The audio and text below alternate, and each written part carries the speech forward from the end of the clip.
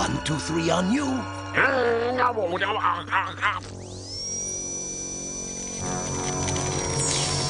No! Please! Away! Go away! Ah, you infernal critters! Ganging up on me, huh? Well, that just don't wash!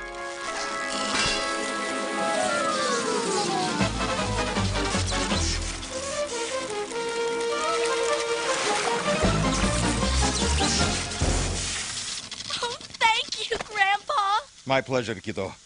Now, do you think you can tell me what is going on around here? I'll explain everything on the way. Come on!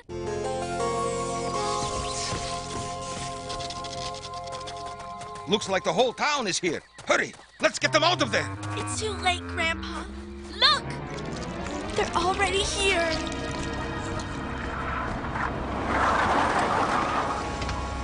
Please,